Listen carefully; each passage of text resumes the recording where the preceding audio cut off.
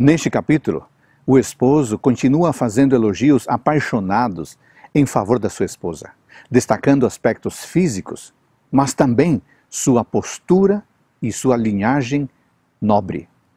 Em resposta, a esposa promete mais do que apenas satisfazer o desejo de seu esposo por ela. Ela promete que o amará com alegria e que desfrutará da vida ao lado dele. O que aprendemos neste capítulo é o seguinte: o relacionamento conjugal envolve mais do que apenas sexualidade e romance.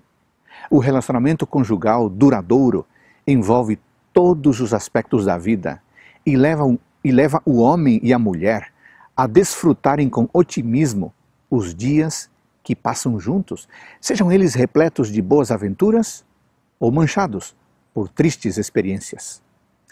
A fidelidade conjugal inclui as alturas de experiências marcantes e lindas, mas também as experiências tristes e comuns da planície. Querido amigo, querida amiga, receba um forte abraço e o desejo de bênção de Deus para você neste dia.